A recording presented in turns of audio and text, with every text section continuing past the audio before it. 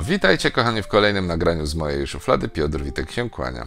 Ponieważ w mojej szufladzie już bardzo dawno nie było żadnej aplikacji, która wykorzystywałaby LIDAR, dzisiaj zapraszam Was na demonstrację bardzo fajnej aplikacji Obstacle Detector, czyli aplikacji, która umożliwia za pomocą naszego iPhone'a rozpoznawanie różnego rodzaju obiektów i przeszkód znajdujących się przed nami. Zaczynamy oczywiście od przełączenia się do aplikacji. Wykrywanie wyłączone. Aplikacja w tym momencie ma wyłączone wykrywanie, ale ja w tym momencie ją uruchamiam. Włącz wykrywanie. Przycisk. Włącz wykrywanie. Zwróćcie uwagę, od razu pierwsza rzecz. Interfejs mamy w języku polskim i to jest bardzo Używanie fajna tylnej sprawa. kamery. Wyłącz wykrywanie. W momencie, gdy uruchomiłem wykrywanie, otrzymaliśmy informację, że wykorzystywana jest do tego tylna kamera w tym momencie. Na Wizjer. głównym ekranie mamy wizjer naszego aparatu, klasyczny taki podgląd jak w, przy robieniu zdjęć. I później mamy najróżniejsze opcje, Powiadomienia głosowe. Przełącznik. Wyłączone. na przykład powiadomienia głosowe. 0,03 metry. Zacznijmy od opcji, która jest tutaj obok 0,3 metra, czyli 3 mm. Ja teraz odsunąłem dłoń, która zasłaniała obiektyw Powiadomienie 0,18 metry. i mówi teraz 0,18 metrów, czyli 18 cm od blatu biurka. Teraz obracam e, telefon tak, żeby wskazywał zamknięte drzwi, oddalone ode mnie o Dźwięk 1,4 metry. E, 1,4 Powiadomienie metra. 1,77 O, metry. 1,78, bardziej to jest wiarygodne e, w tym momencie. Oczywiście wiecie, to nie jest komfortowe, żeby się tak bawić i za każdym razem prosić voice over, żeby nam coś przeczytał. Dlatego mogę zaznaczyć tą opcję Wyłączone. powiadomienia głosowe. 1,78 wyłączone. Mm, Uprzedzam, będzie troszkę głośniej, bo niestety tych komunikatów w tym momencie nie mogę ściszyć, więc jeszcze raz włączam i przygotujcie się, że będzie głośno.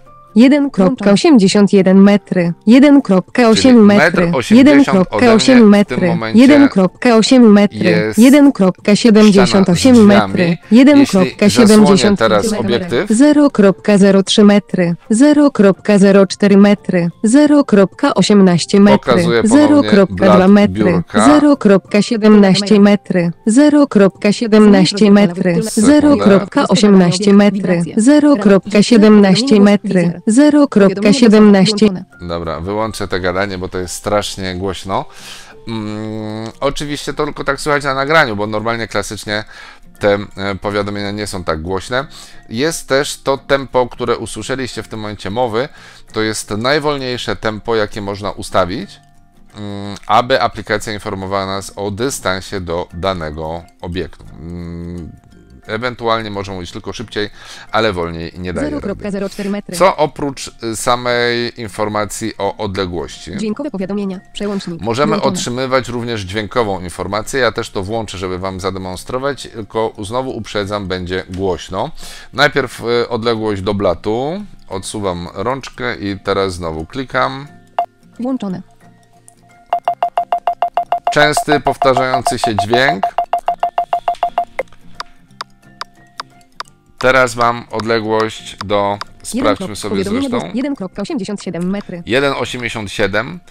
Powyżej 2 metrów ten odgłos przestaje być generowany. Za to jak się zbliżę poniżej 1,70 m czy poniżej 1,80 m, słyszycie, że przyspiesza. Odsuwam telefon. O, teraz pokazuję na komodę, żeby pokazać Wam, jak się zwiększa dźwięk.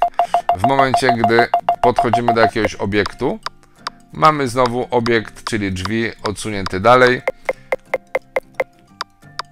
I ten dźwięk też może nam sugerować, jak daleko znajduje się obiekt. rama pola wykrywania, wibracje, prze, rozpozna, wibra, rama, dźwiękowe powiadomienia, przełącznik.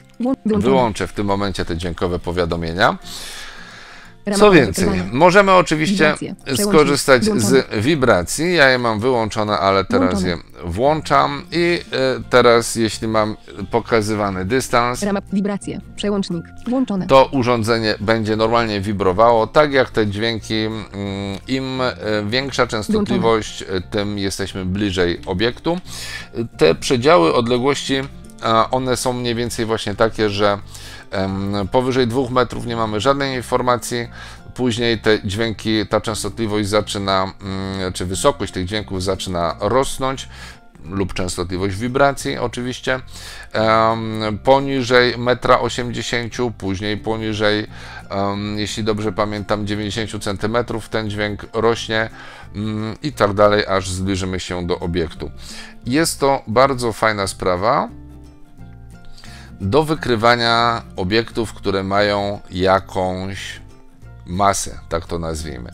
Ponieważ robiłem różne testy, na przykład z wykorzystaniem e, długopisa czy białej laski i nie jest w stanie tego typu obiektów mm, to narzędzie rozpoznać, po prostu je ignoruje. I to może okazać się nie tyle niebezpieczne, co warto o tym pamiętać, że mm, tego typu aplikacjom nie wolno bezwzględnie ufać. Trzeba brać pod uwagę to, że one czegoś mogą nie zauważyć. Oczywiście obiekty typu znaki drogowe, słupy, ławki, kosze, hulajnogi bez problemu są wykrywane. Oczywiście ta aplikacja w końcu ma wykrywać przeszkody i e, nie tylko potrafi je wykryć, ale także potrafi je zidentyfikować. Mamy tutaj taki przełącznik rozpoznawanie obiektów. I powiem Wam, e, te komunikaty, co zresztą zaraz Wam zademonstruję, wygłaszane są niestety po angielsku, pomimo tego, że wygłaszane są głosem polskim, mm, po prostu prostu nie są one tłumaczone, to zdumiewająco często te komunikaty są mm, bardzo dokładne. Często oczywiście są niedokładne, ale też na przykład, gdy pokazywałem, mm, rozglądając się po pomieszczeniu, wnętrze e, salonu, to nie tylko aplikacja była w stanie powiedzieć mi, że wykryła stół, ale była w stanie powiedzieć mi, że jest to stół obiadowy.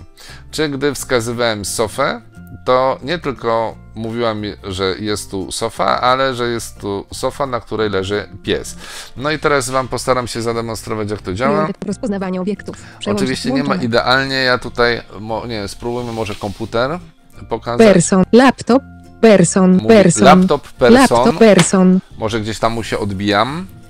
Teraz książeczka. Laptop, laptop, bok, laptop, person, laptop, Bok, bok, person. Niby mówi książka, a teraz jeszcze długopis, słuchajcie, zwykły długopis. Ścisk source.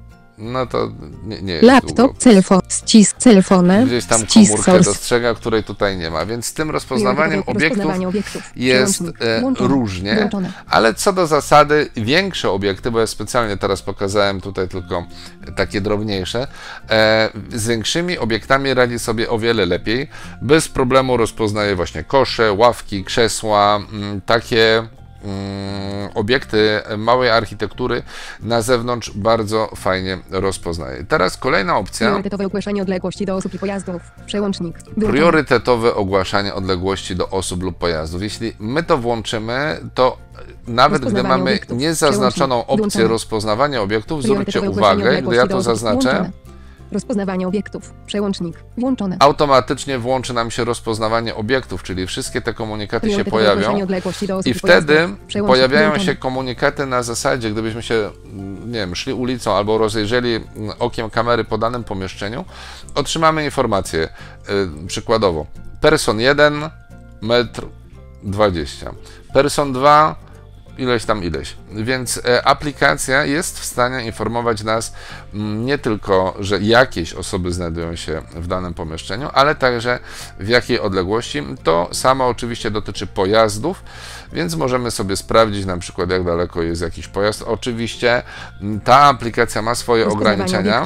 Przełącznik włączony. I warto o nich powiedzieć może nawet teraz. Ja używam e, w tym momencie aplikacji mm, na urządzeniu typu Pro, czyli iPhone Pro, który wykorzystuje do działania LIDAR.